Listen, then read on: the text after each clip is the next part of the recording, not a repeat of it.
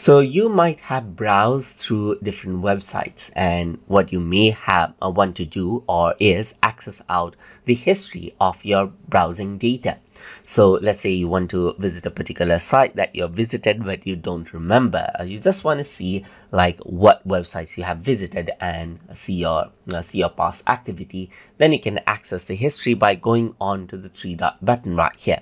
And then you can simply go around and click on history. So once you do that over here, you can see that recent uh, in the recent section, you can see that you have access out Chrome Web Store, and then there's the Microsoft Edge add-on, Web Clipper, Bing, and you can see the other websites that you have seen right here, just like this.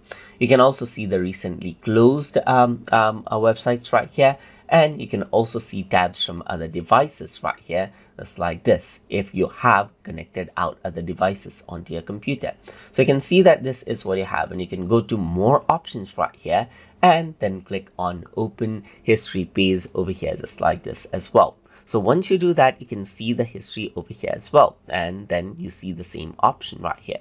So let's say, for example, you want to filter out the history that you have, um, um, that you have. Uh, let's say, for example, I'm going to go around and say Microsoft right here. Then all of my historical data, that is my history page visits with the word Microsoft in it actually shows up just like this. And that is how you can access out your history list inside of Microsoft Edge browser. So if you guys learned something as always. And as always, please like, comment, share, and subscribe.